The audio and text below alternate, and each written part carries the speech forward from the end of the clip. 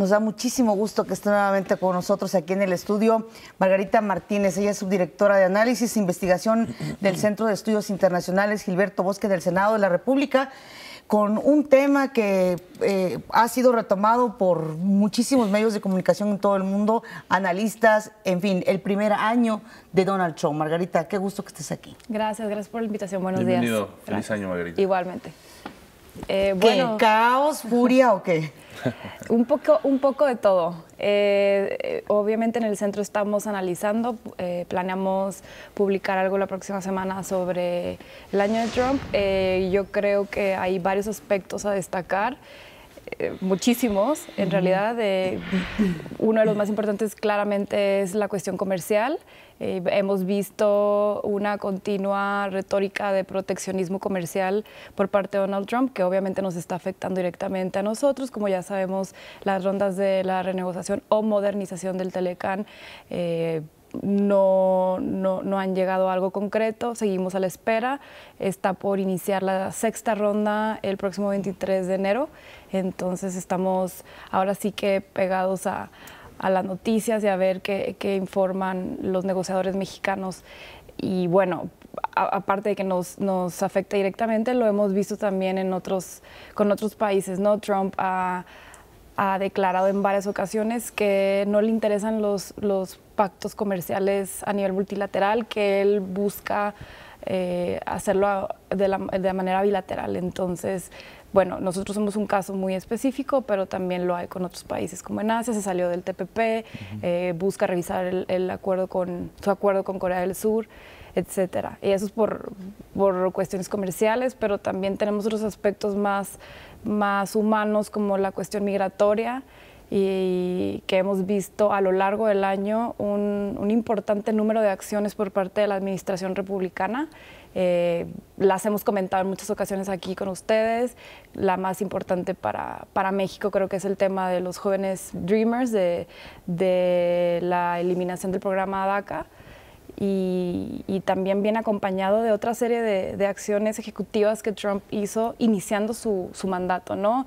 Eh, Trump entra el 20 de enero y para el 27 estaba emitiendo el, el veto migratorio. Eh, que claramente nos dio una pauta de lo que quería y, continuó. El veto migratorio ya pasó por ahora sí que tres versiones y lo último que sabemos es que la Suprema Corte dejó que la tercera versión, eh, que las disposiciones de esta versión continúen.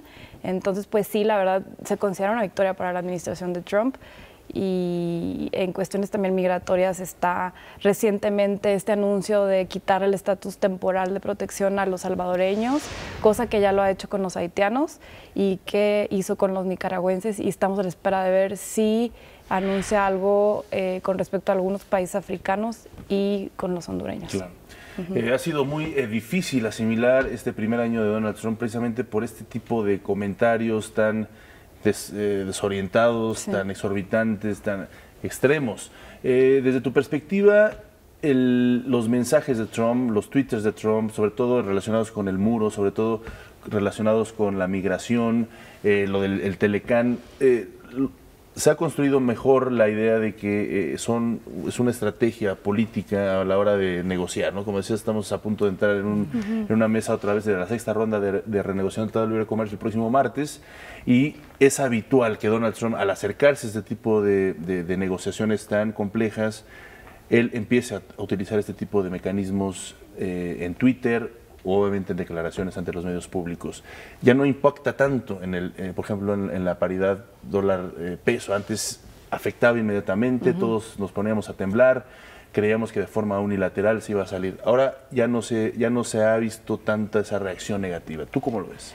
Yo creo que el gobierno mexicano y bueno, eh, los mercados ya han entendido de alguna manera cómo se maneja el proceso por parte de, del propio presidente Donald Trump, porque su equipo de negociación es otra cosa. Em, y claramente es extremadamente mediático y los, como mencionas tú, lo sabemos por sus tweets, por sus declaraciones, pero de nuevo, vamos en la sexta ronda de siete, si no me equivoco, y todavía no hemos eh, concluido el proceso, pero más aún todavía, que es muy importante, todavía no hemos tenido un momento en el que él anuncie una posible denuncia por parte de Estados Unidos, cosa que es realmente importante. Quiere decir que hay interés y que hay interés eh, de poder eh, acordar algo. Ahora, no quiero venir en tres semanas y tener alguna mala noticia, porque sabemos que él es impredecible, pero creo que en ese tema sí tiene muchos actores alrededor que lo están presionando y que lo mesuran de alguna manera para, para no denunciar. Eh, precipitadamente el Telecán. Margarita, lo que muchos nos preguntamos es, ¿ese estilo y afloje forma parte de una estrategia? ¿Será un parte también de la personalidad de Trump? Es decir, ¿hay una estrategia clara para tener así a sus contrapartes como la expectativa de qué es lo que pueda surgir a fin de poder lograr algo? Sí, esto es una pregunta interesante. Justo estábamos, estaba leyendo hace días un análisis de los reporteros que cubren em, la Casa, Blanca, eh, y lo que decían eh, gran, en su mayoría eh, es que es impredecible, ¿no? Y que ya están acostumbrados a que cualquier cosa puede pasar y que ya nada lo sorprende, ¿no? Perdón, porque además hay una impresión de que hay hasta contradicción con sus propios funcionarios. Sí, definitivamente. Creo que es una, lo que el gabinete de Trump es una contraparte muy importante en todos los aspectos.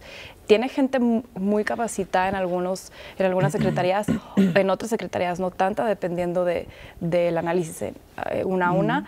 Eh, pero al menos en, el Departamento de Defensa, en el Departamento de Seguridad Interior, tiene gente que está eh, capacitada en esos rubros, en otras no tanto, ¿no?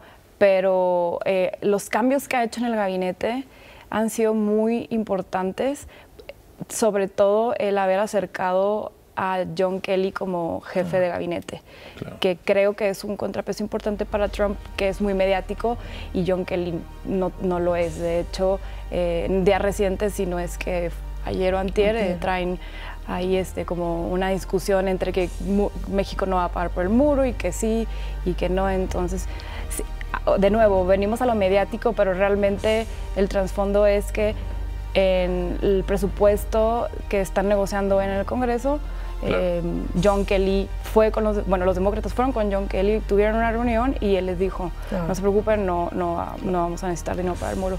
Muy bien, Ana, pues eh, te agradecemos mucho que hayas estado. Por lo pronto ya termina su primer año. Gracias. Está consolidado, ya estamos pensando más bien en la próxima reelección, no tanto en que se pueda apartar.